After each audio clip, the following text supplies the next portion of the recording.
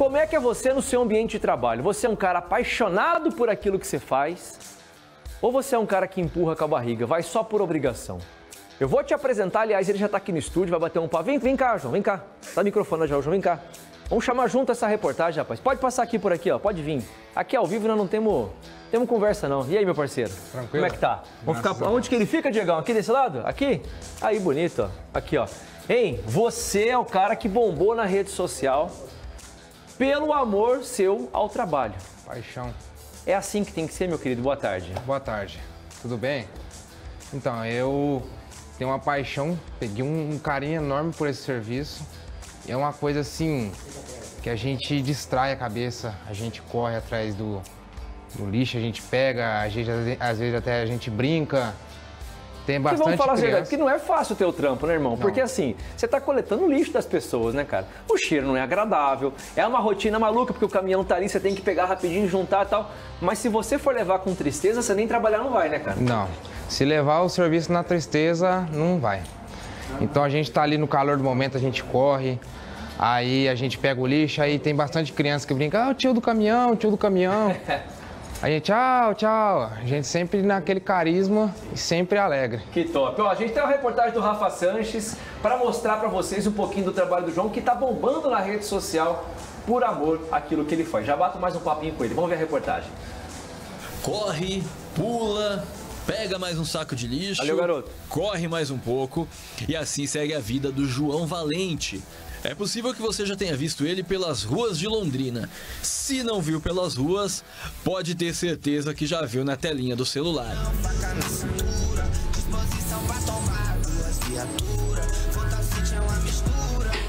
O cara é um fenômeno, meus amigos. Olha aqui, 70 mil seguidores no TikTok, mais de 100 mil no Instagram e cada vez coletando mais fãs. Aí na rede ele é John. Fica mais chique, não é verdade? Ele viralizou mostrando o dia a dia recolhendo lixo nas ruas aqui da cidade, sempre com muita animação, agilidade e uma boa trilha sonora.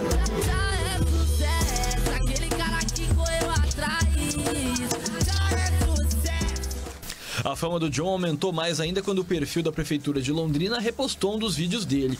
Na legenda, a frase exaltando quem tem amor pelo que faz. Até o meio da tarde desta segunda, mais de 7 mil likes e 300 comentários. Bombando! No perfil, ele não mostra só o dia a dia, não. Dá uma olhada. Também mostra look do dia e entra nas trends do momento, tipo essa. Gostosinho moça, vou empurrando meu carrinho de pipoca. E autoestima, hein, parceiro? Nesse aqui também. Esse trenzão cheiroso, do cabelo bonito e do beijo gostoso. E claro, você acha que ele não ia brincar com a própria profissão? Mas com perrengue ou sem, essa foto aqui resume tudo.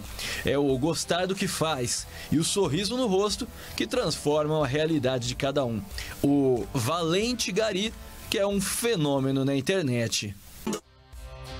Ô, João, como é que teve a ideia de, de fazer os vídeos? Falou, meu, vou começar a fazer vídeo pra internet. Então, eu via bastante conteúdos assim sobre a coleta de lixo. Ah. Aí eu falei assim, com meu, junto com o meu primo, que ele também grava, ele grava meus vídeos. Ele, que é o cameraman. Ele que é o cameraman. Até então eu falei assim, será que, será que compensa gravar? Eu, tipo assim, e muita gente zoando, eu, tipo, muita gente brincava comigo, ah, servicinho é tranquilo, que não sei o quê. Capaz, né? Eu falei assim, eu vou gravar um vídeo mostrando o meu dia a dia. Aí eu postei. Aí eu comecei a gravar, falei assim, eu achei legal, deu uma repercussãozinha boa. Aí eu falei assim, vou gravar mais um pouco. Comecei a gravar, gravar, até que eu levei isso como os vídeos que, eu- que, que, eu, que eu fazia só por brincadeira, passou a ser um, um trabalho pra mim na internet. Que massa. O que, que é a maior dificuldade hoje do coletor de lixo em Londrina? A maior dificuldade que a gente passa são caco de vidro, espeto de churrasco, seringa. Até então É a não- seringa? Sim. Até então no meu canal no YouTube eu faço dicas também. Dicas como descartar caco de vidro, espeto de churrasco, seringas. Como que eu posso, por exemplo, colocar o caquinho de vidro? Quebrou um copo lá em casa, onde é que eu vou colocar pra não machucar o coletor? Então, eu no meu, no meu canal tem uma. Eu pego uma garrafa PET, Aí com tampa a gente corta, Corta ela. coloca o caco de vidro, coloca ela por baixo e passa uma fita e já deixa sinalizado pra gente, assim, Com que espetinho de churrasco mesmo Sim. esquema. Aí não machuca ninguém. E, tipo assim, bastante pessoas, não onde meu setor, onde eu trabalho, tem bastante gente que coloca uma caixinha, deixa bem, deixa bem isoladinho, coloca cuidado vidro. Então, o que você queria dizer, cara, pra quem tá assistindo agora em casa e de repente aquele cara que dá migué no trabalho, fala, ah, rapaz, eu tô empurrando com a barriga. Você é o cara que faz o negócio acontecer. O que, que você tem a dizer pra essas pessoas? Então, para as pessoas que querem seguir um sonho de ser influencer, tem que persistir, porque se o que nem eu falo, o difícil é a gente começar. Depois a gente vai. Então é que nem eu falo, é eu nunca ter preguiça do que for fazer. É isso aí. Sem sempre ter persistência, trabalhar, que uma hora vem. E a gente pode não ser influencer digital como ele é, que tem mais de 100 mil seguidores. Mas você pode ser influenciador do bem no seu trabalho. Você pode ser um bom exemplo, né, João? Tenho certeza que você motiva a galera a trabalhar também. Sim, sim, é e se muito... aprendesse em casa o pai que tá aqui gravando com a gente, né, Agnaldo? O Agnaldo tá gravando. É piloto também, né? É o piloto. Vem cá, Agnaldo, vem cá, só pra dar um oi pra galera aqui, ó. Vem cá, rapidinho aqui, ó. Pode entrar, pode entrar com o telefone aqui. Vou arrumar um microfone de mão pra você. Aqui, ó. Como é que você tá, meu irmão? Deixa eu pegar o microfone aqui. Eu já vou pegar o microfone seu pra você poder bater um papo. Pai e filho aqui, ó. Pai e filho, vem cá, dá pra mim ele aí, obrigado. Pai e filho, é, você trabalha já com coleta há quanto tempo, Agnaldo? Aí em janeiro agora vai fazer oito anos. O que, que você conseguiu ensinar pro filho? Ah, muita coisa, né? E hoje aprendendo com ele também.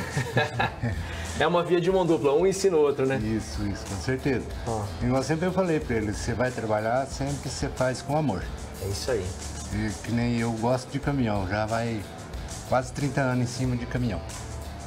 Eu gosto do caminhão e gosto do serviço da coleta também. Você acha que tá faltando o exemplo dos pais pros filhos hoje, Agnaldo? Pra você ensinar um menino bom como você ensinou o João? Ah, eu acho que talvez sim. Ah, tipo assim, eu tentei ensinar o melhor pra ele. Sempre tentei ensinar o melhor, nunca Mexer com coisa errada. É, e a decisão de seguir o caminho certo ou não é tua, né? Seu pai pode te ensinar, mas quem vai querer seguir o caminho certo ou não é você, né, João? Você escolheu o caminho do bem. escolher o caminho do bem. O nosso, querendo ou não, os pais, eles, eles querem a melhora pra gente, né? Nossos E é isso que pais. muitos filhos não entendem, né? É. Que às vezes o pai pega no pé. Eu, eu conversei com os meus filhos sobre isso no final de semana. Eu falei assim, "Ó, molecada, o pai e a mãe nunca vão querer o mal de vocês. Então a gente pega no pé é pra ensinar vocês o caminho certo. Mas a decisão de tomar o caminho certo é deles, né, Agnaldo? É, a gente, a gente- é, às vezes a gente fala, né? Eles acham que a gente é chato, né? Mas nunca quer o mal deles. Por Sempre mais, quer o bem. é, e por mais pais chatos desse mundo que a gente tem que ser. Ô, John, finaliza então com o seu Instagram. Qual que é o Instagram pra galera poder seguir? Meu Instagram é John Valente com dois E.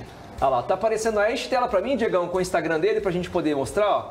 João Valente tá até o verificado, rapaz. O cara tá demais aqui, ó. 114 mil seguidores, tá bombando na rede social. E o canal no YouTube tem o link aqui também, ó, pra você poder seguir. YouTube e. TikTok. Irmão, sucesso pra você. Muito obrigado. Que Deus te abençoe, tá, cara? Ah, tá. Quero que você ficasse aqui mais um pouquinho. Segura o microfone aqui, Aguinaldo, fazendo um favor. Vou mostrar pra você um vídeo que eu tenho um quadro aqui no programa chama Viral do Parra.